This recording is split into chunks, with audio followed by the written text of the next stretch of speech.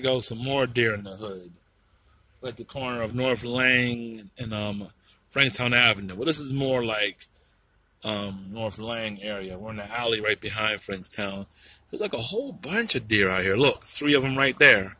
It's a whole bunch out here. I guess it must be mating season or something.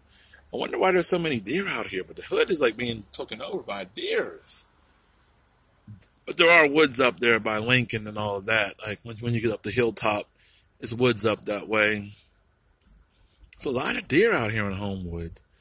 I guess they taken over.